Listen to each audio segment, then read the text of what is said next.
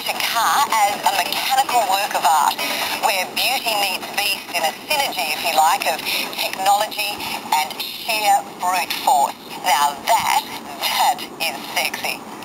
It's the obsession of a man who would settle for nothing less than absolute perfection. Horacio Pagani is a former Lamborghini designer who followed a dream to create a car that would seamlessly blend high technology, performance and aesthetic beauty. With the support of his late friend and mentor, the legendary motor racing champion Juan Manuel Fangio, he set up shop near Modena in the early 90s and with a small team of craftsmen began hand-building one of the most desirable supercars in the world.